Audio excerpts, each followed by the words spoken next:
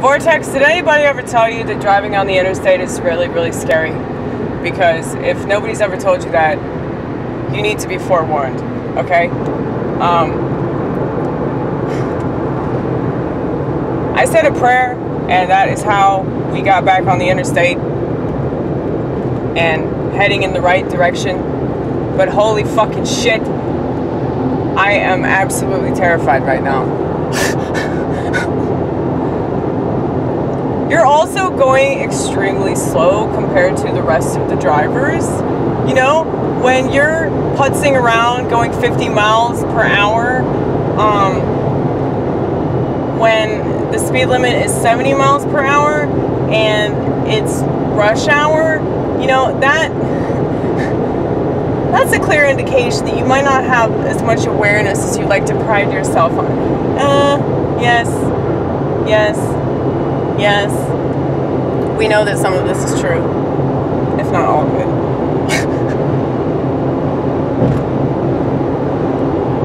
so, uh, I think we're okay though. We're just gonna stay in this lane and we're not gonna move until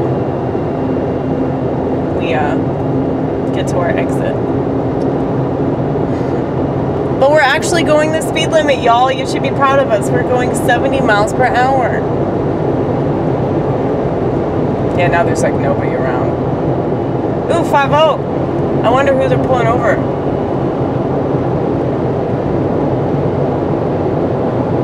Oh, it's a truck. I'm sure that truck is owned by a white person. So whatever they keep saying in the media is probably a bunch of horse shit. Dude, there is some uh, guy that got patted down and they had to like drag him out of the truck and all that. Like uh, apparently like four cops had to get him out of the truck. They were searching his vehicle. White guy. We have to talk about when these things happen since everybody seems to think it's all about race. I mean, it is sometimes. Sometimes it's about race, but other times it's not. It's about other things. Um, but anyway.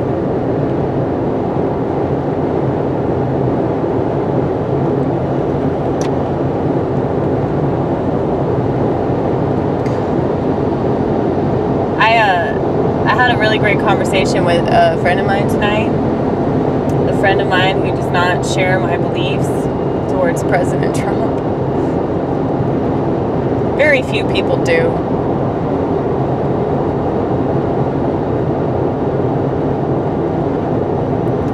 But uh,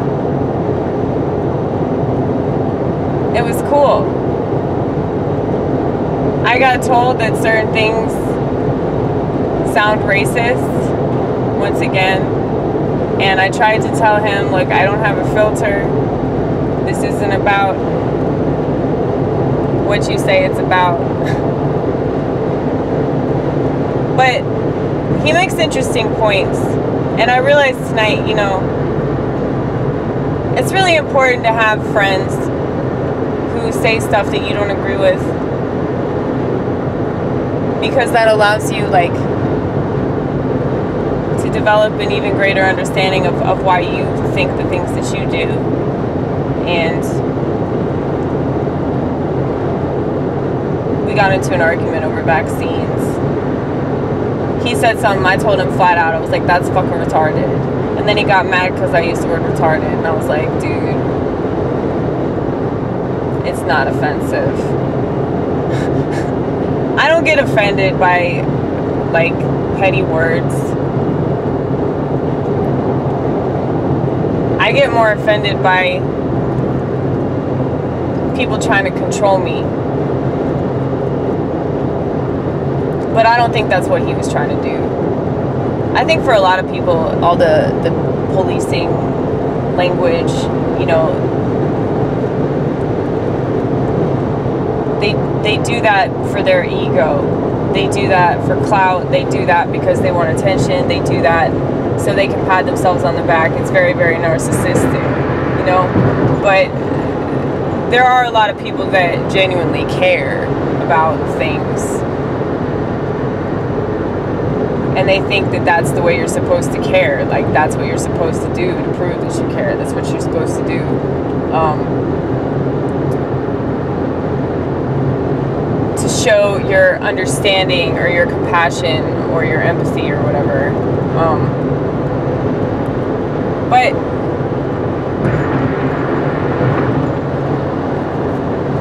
I don't want to be hurtful.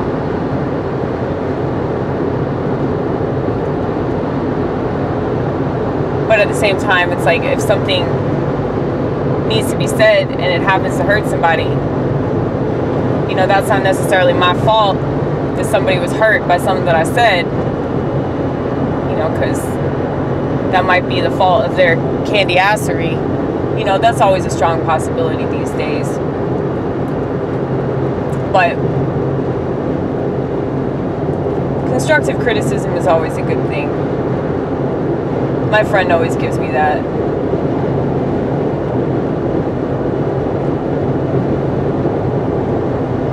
But yeah, I guess I'm going to once again get back on my laptop and look up even more information about President Trump uh, because I don't want to be wrong about him. If he's a piece of shit that's just selling out America, I want to know about it. Okay? I think that there's definitely a problem with brainwashing in this country, and it's really not limited to politics. But since everything's political, then it's just so easy to control people based off of some idea. This idea that you're doing something positive, this idea that you're the good guy. I don't think that there are good guys. Like, even Trump, like, I really don't think all the things that people think that I think about him. I just know he can't possibly be one of them because if he was one of them, then, why are they going out of their way to vilify him? Like I said, I watch reactions. I watch reactions that nobody else is watching, and then they think I'm crazy because I pay attention to stuff like that, you know? I don't think that's crazy at all. I think that's what a smarter person does because nobody else is looking at that shit. But who am I, right? But you know what's funny is that my friend who's on the left, like he's a socialist, he's uh, saying that, that Christianity is socialist. Now, it's not that I don't think that there's some truth to that. Uh, just the idea of, of people helping each other and being a community that functions as such and goes out of their way to, to do what's right, you know, that's positive. That's positive. Um, I think that it's a little unrealistic to think that like you can force society to be like that. I wish that that were true, but unfortunately it's not. But it was cool because like yeah, we agreed on way more than we disagreed on. But he does not understand whatsoever why I support President Trump. Like he just cannot wrap that around his head. But my friend is not fucking stupid, okay? He's not stupid. He's not even liberal, really. But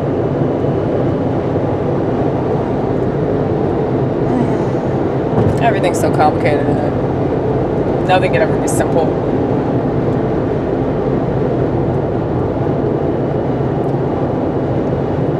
yeah. I started crying when I was over there. I started crying about my guilt and shame. and I kind of figured that would happen eventually with him because he's a lot like me. I think that I think that he has the same thing that I do. That's why we get along so well, even though we have different views. I mean, who gives a fuck? I don't. I don't care about shit like that. I just don't, you know?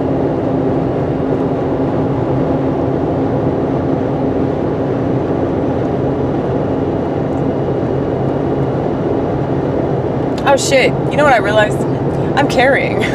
Maybe I should follow more of the traffic laws. oh my god! Yeah, I, I kind of have a half ounce on me. It's it's not a big deal though, because technically, uh, you just get like a ticket for that shit now. At least in Davidson County, but we're not in Davidson County now. We're in Williamson. Yes, yes, let's put that seatbelt on. All right. okay. We're gonna pretend to put it on. We're not really gonna put it on though. We're just gonna throw it over like a purse strap. That's what we do. But uh, yeah. 21 minutes left.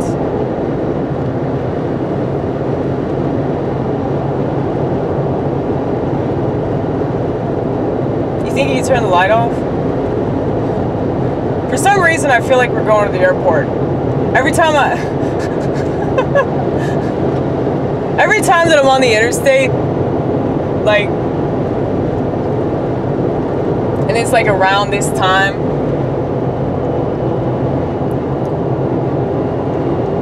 Like I've stayed up so late that it's early now. It's early morning. I always think I'm going to the airport.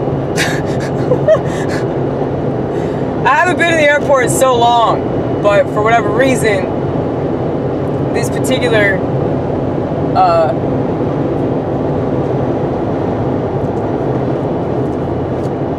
segment of time really reminds me of driving to the airport. I think it's just the sky. There's the sky on the interstate. I don't know. You might just be stoned too. That too. Yes, that's always true. All right.